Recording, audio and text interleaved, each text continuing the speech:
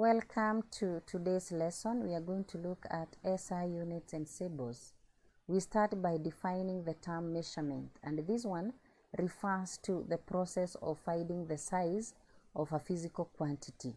Earlier, scientists were using different units according to where they came from and this brought a lot of confusion. So they, they came up with one international system that was that is supposed to be used worldwide and this one we call it SI unit for physical quantities. The reason for establishing this was one to have, to, to have international uniformity among scientists and to avoid confusion among scientists. We have two types of physical quantities. One, we have basic physical quantities or what we call fundamental physical quantities. And these are quantities that are measured using measuring instrument. You cannot obtain them from any other quantities. So you have to measure them. We have examples. There are seven of them that are tabulated on this table. We have length.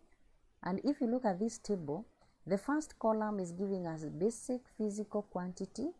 The second column is giving us the SI unit and then we have the symbol of the SI unit. For instance, we have length. The SI unit is meter. The symbol is small m. So these are the seven basic physical quantity or what we are calling fundamental quantities. These are the ones that we are saying they have to be measured. You can't calculate them. You, need, you can't obtain them from any other physical quantity. So what I want to emphasize on this is that when you are writing the SI unit, make sure that you write it correctly. And the symbols. If, for instance, you are talking of electric currents, the SI unit is ampere, then the symbol should be capital A. Because if you write small a, then that one is considered as wrong SI unit. And when you write wrong SI unit, there is always a penalty. You are penalized. For instance, again, if you look at mass, the SI unit is kilogram. The symbol is small k and small g. If you write a capital K or a capital G, that is a different thing. So make sure that you are able to memorize. You can use a song to remember. You can do, you can make your own song to remember all these units and ensure that you are writing the correct symbols. Once again, I'm saying if you write the wrong symbol, you are penalized. Then we move to derived physical quantities. And this one, as the term suggests, they are derived from other physical quantities through multiplication or division. You can have area.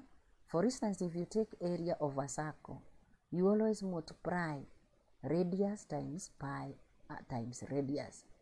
Radius is length, as we are going to see.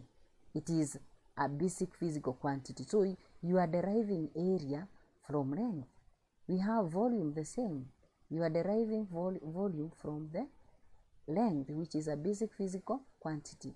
So derived quantities are obtained either through multiplication or division of those seven basic physical quantities. We have other examples. We have work, density, momentum, force, pressure, and many others. Then we move to the assignment. If you look at our first question here, you are supposed to fill the table. I know you may be tempted to go back to your notes and just fill. But remember, at the beginning, I told you to evaluate yourself using the quizzes that are provided. It's always to test whether there is knowledge retention in your mind. So make sure that the answers are coming from your mind. Revise well before you attempt the assignment. We have for the calculations, you can be able to calculate and write the, the correct SI units. So attempt the assignment and make sure that you are able to get the correct answer. Thank you and let us meet in our next lesson.